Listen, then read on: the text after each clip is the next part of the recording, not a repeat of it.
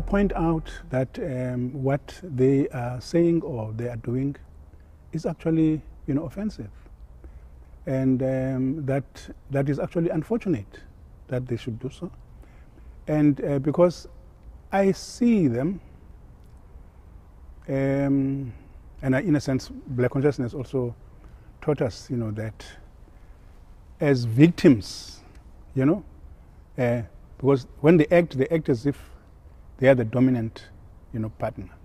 But in fact, they are, they are suffering.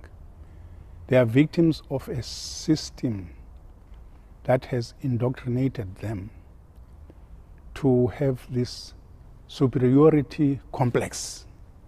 You know, this is a superiority complex.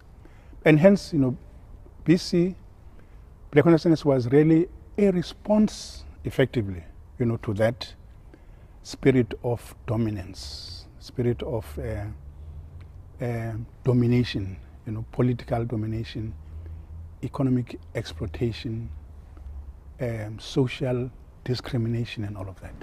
I think my first instinct would be to report them, um, depending on the severity of the situation.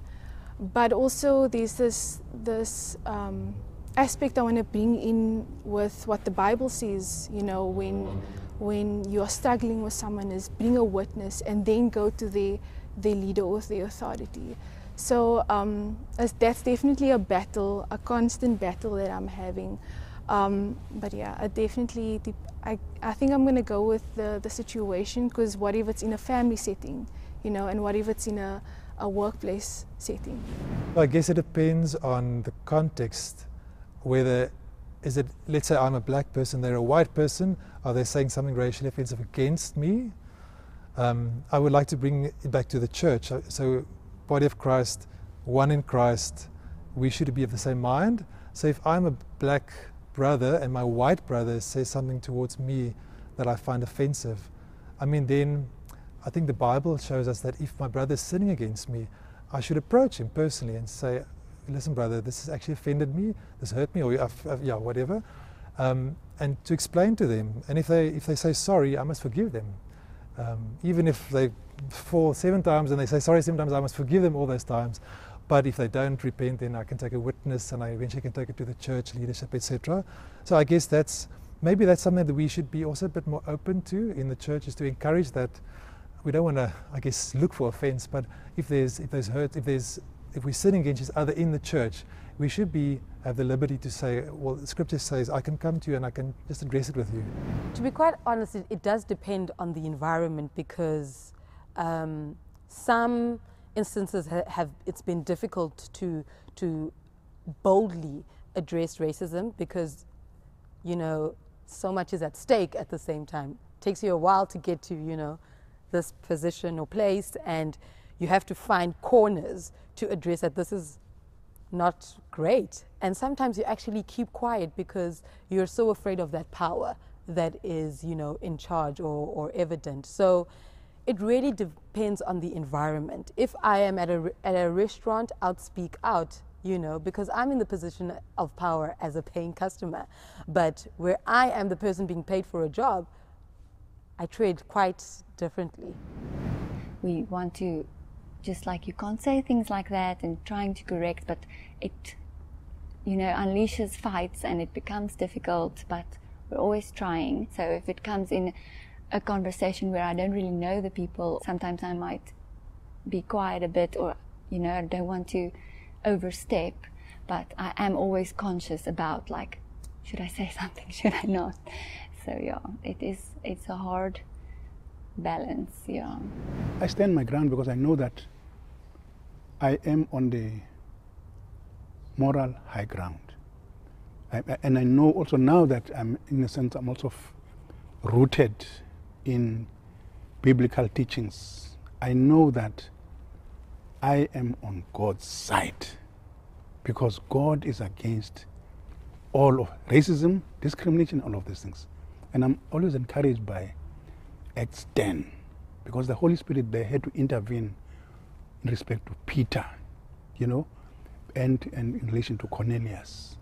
And that intervention by the Holy Spirit, Holy Spirit is God, um, to teach him that it was there was no place for this superiority thing uh, by the Jews vis-a-vis the Gentiles, and that to me then says, insofar as God is concerned, He has got love for all of us in our diversity. If I am a white person and a white brother or a friend or family says something racially offensive, I do find that challenging. I think maybe my personality is I don't want to confront people unnecessarily. So if it's a believer, then it's, it's easier because then you know, brother, uh, once again, I would have to, I guess, get a sensitive, the time and the situation right to say, okay, brother, you were saying this. Maybe the first time I'll let it go, but if it's a pattern, this is something that's not that's not cool. It's not it's it's, it's wrong, and um, this is what the Bible shows us, and we need to address that. It's easy for me to say it now. I guess it would be very challenging to, to, to do that in real life. So if it was a believing brother, a believing white brother saying something racially offensive, I would have to, I would I would have to address that. If it was a non-believing brother, I would be even a bit more hesitant. But I know that I, that's something I need to speak up. So, and that's challenging, right? I mean, I, there was one one example in my mind that it was a, it was a family member, friend or acquaintance, um, and we were sitting and having I think after lunch, and somehow we broached the topic like of racism, and they were very I guess conservative Afrikaans, and they had quite I thought quite racist views. And I tried to, and, and uh, I wouldn't usually do this, but I tried to challenge them. And we got in this heated debate. And I couldn't stop myself from he would go on and I would go on and we would count each other and it, it, it was actually was not good. So we, he got worked up, I got worked up, and we got nowhere. I, I, the poor people around us, I don't know what they, how they felt about it, but that was really not a, good conversation. So, yeah, there's, there's, yeah, it's, it's difficult, I think, and maybe sometimes I don't stand up enough for what is right, but I guess also the, the, the relationship kind of, uh, kind of gives you the clue as to how much you, you can engage, how heavy that message that you can give across? Luckily for me, there's, there's not much a, a, a person, a white person can say uh, racially that is so offensive that I've never heard before, I've never been, been subjected to. Um, so for me, I just, and luckily that the gospel has broken me in this area of racism, but rebuilt me up. And God has put so much confidence in me. I can sit with any white person. I don't have inferior, have to feel inferior. I don't care. In my eyes, we are all equal. You are not superior. So, so luckily for me, I'm there. I'm not worried about the people that throw racial slurs. Those are not, those are not the problems. Your biggest problems is people that sit in the same room as you at church. They, they say they love you. They're your brothers. You know, you share the same spaces, you go to gym with, you cycle, you play golf with these white people, but inside their hearts and how they, they carry out white supremacist ideas. For example, you've got a business, you make sure intentionally that you only do business with white people. Meanwhile, you smile at your black friends and whatever in this, you for transformation. But meanwhile, that's what you do. You don't, you, you're not intentional about transformation you know, you sit, you're the HR manager of a company. When it comes to increases, you're only giving to white people, but you're smiling with black people. Your friends is this, yeah, my this. I've got a black friend. I've got this. But inside, and your actions are very dangerous because that is what's crippling society. Is those quiet actions that are a problem, not the racial slurs. The racial slurs are good from our own people who are very naive to say racism exists because you've got those people. No, I've never experienced racism. Yes, we know you might have not, but some people even fail to put themselves in other people's shoes. So when those racial slurs come, then they get to realize, okay, this thing still exists. So it's for them. But for a person like me who lives with this thing on a constant basis and advocating for justice and solving these problems, I don't mind about those people. I'm concerned about the silent ones that, that are making these decisions that makes us and control economy and all of that.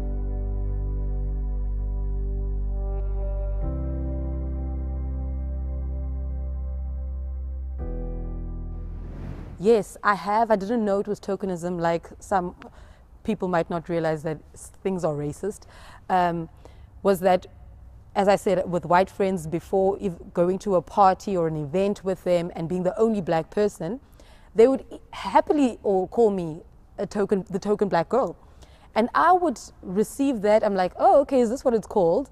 And, you know, perpetuate that narrative and not think that, wow, how did my friends know about tokenism and I don't? Because here am I thinking that we're all friends, but they can definitely say, you're the token black girl.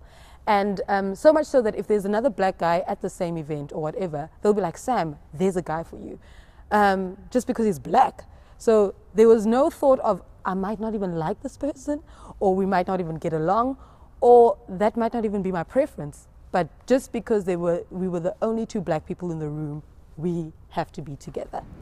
I don't think I've been a token, but I think I don't know. Maybe I'm. I've got a black friend, so he's he's the token of my non-racialism, I guess. If, if I can say, oh, this is my, I've got this black friend, so I'm not a racist. I'm cool. I don't have to worry about uh, racism in my in my heart because I've got this black friend.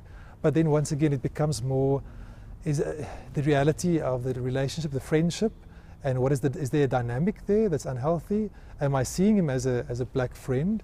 Um, once again, I mean, we our skins we have it and we have our backgrounds, but we are equal. I mean, once again, in Christ we are equal. So I don't want. I wouldn't also want a black friend to feel like they might be a token friend. Um, but I think that, that will come through in the in the in the relationship. Yeah. No, I think for myself, I I don't personally feel that I've experienced any tokenism because I don't personally feel that I had a um, that I was positioned or, or framed in any way um, for that purpose. Um, and so I always always with my experiences, I felt like where, wherever I've been appointed or wherever I've needed to be connected to, I think that that there was definitely a sense of transparency and openness and and a sincere engagement. I've definitely seen it, or not from personal experience, but I am aware that some people feel or even are given jobs or certain opportunities based on race or gender or things like that in order to try and you know balance the scales that previously were not balanced. So as i'm still a student and i haven't applied for jobs yet i yeah haven't experienced this myself but i am aware of it and i do see it in my friends talking about it and sharing their experiences. So it is still a thing but again change doesn't happen overnight and it's to take some time for everything to be e more equal. Yeah. Uh, tokenism is basically, I call it fronting. So it's a facade, you're pretending um, something is there, but it's not there. Uh, and mostly it's done in, in terms of BEE, affirmative action, and stuff like that. You put you know, to get to be a level one BEE contributor, for example, you put a female in the board somewhere, they don't ever say what's happening in the company, but you do it anyway and you get your level one BEE. I've never experienced it myself because I refuse to be part of such a system because it's ungodly, it's unbiblical. Because at the end of the day, you, most of these people that have seen uh, occupying seats of, because of tokenism lose their souls for riches. Yes, they've got money, they sit in, in, in posh uh, suburbs, they drive nice cars, but what about the people? What about the other people in your organizations? What about, you know? So you lose your soul for riches. So I refuse to be part of that.